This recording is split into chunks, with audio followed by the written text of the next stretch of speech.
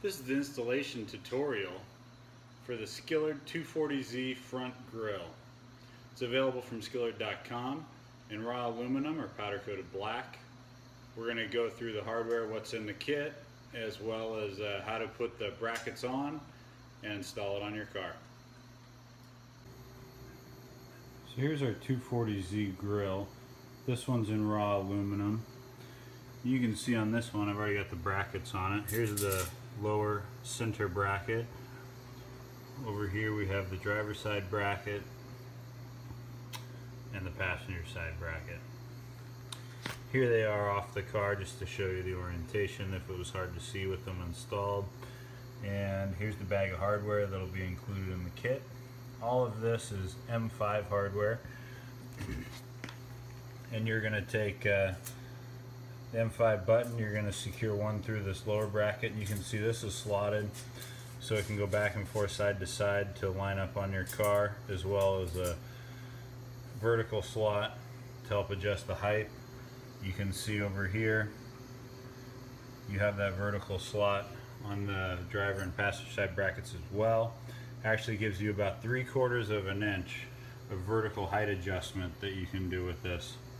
As far as uh, the hardware goes, you're going to slide your M5 through. You can see here which side of the slat the bracket goes on. Washer on each, each side then the M5 all metal lock nuts go on there to tighten it down. These brackets here actually do have a little bit of pitch. So you can see this one isn't tight.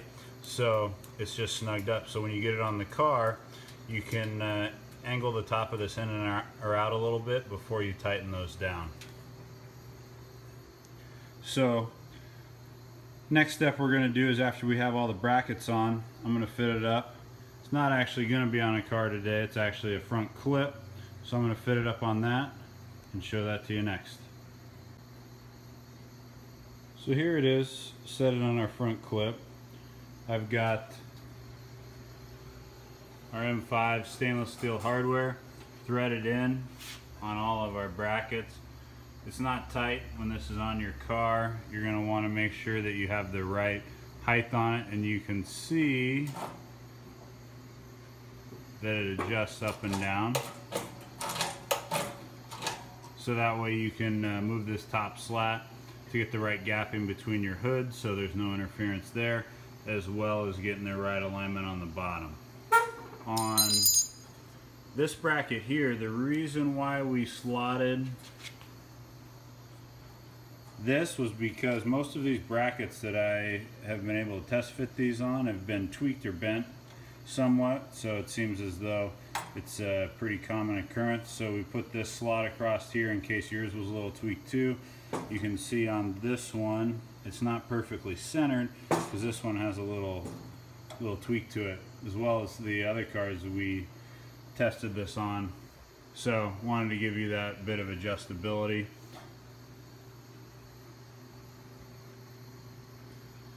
Take a look.